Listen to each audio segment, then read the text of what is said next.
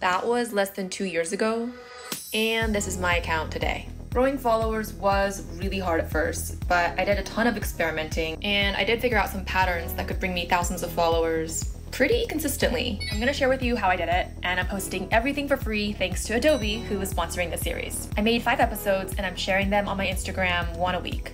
But if you're watching this, that means that you're watching on Adobe Discover, which means you can watch the whole thing for free right now. So let's go. If you're trying to grow, the most important thing to do is to stop thinking about Instagram as a photo app and start thinking about it as a video app. Instagram is in a battle with TikTok right now, which means video and specifically Reels is a huge priority for them. And if you want to grow, you want to work with the algorithm, not against it. Reels was specifically designed to give your video a chance to go viral. This was my first viral reel. You can see from my follower growth the day that my reel went viral. And I know a lot of people who have grown thousands of followers from a single viral reel. But it's hard to make a viral reel.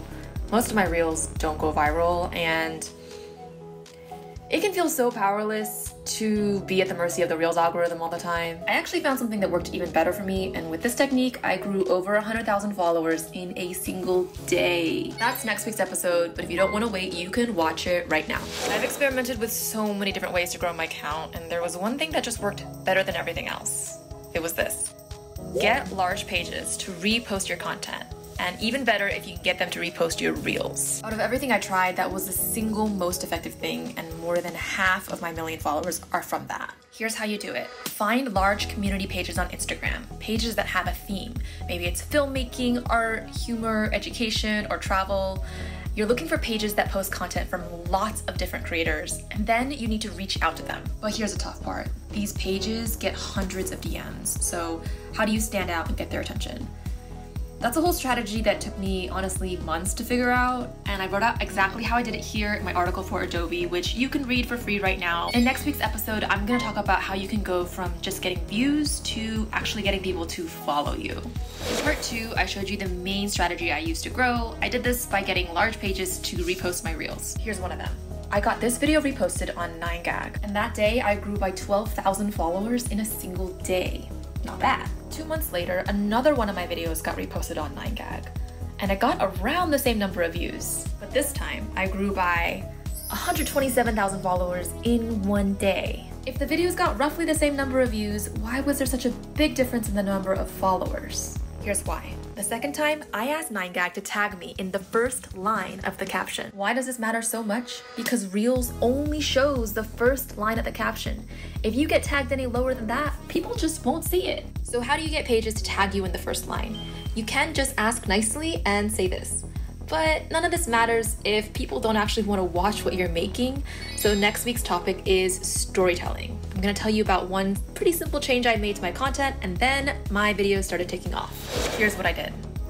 I started showing the behind the scenes of my shots. Why is showing the behind the scenes so powerful?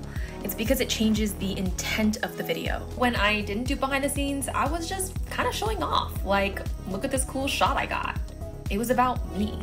But when I started showing the behind the scenes, it's no longer about me, it's about you, giving you a chance to be entertained or to learn something. But the point I'm trying to make is not just about the behind the scenes, it's about being useful. That's the number one change that I made was going from how can I show off on social media to how can I be useful to my audience the creators that are growing the fastest right now are the ones who know how to be useful to their audience. And being useful can take many forms. Next week, I'm gonna talk about creativity and how I get my ideas. There's this myth of the creative genius who gets ideas out of thin air, but I don't think of creativity as some sort of mysterious talent. Creativity is a muscle, and it's a muscle you can train like any other. Growing up, I never even thought of myself as creative. I prided myself in being analytical, not creative, maybe because of my culture. And it wasn't even until much later in life that I even started trying to be creative, and it was pretty uncomfortable and awkward at first. But the more I practiced, the stronger that muscle got. The number one way that I get my ideas is I see something that I like, and then I just try to change one thing. And that's it. I rarely start from zero.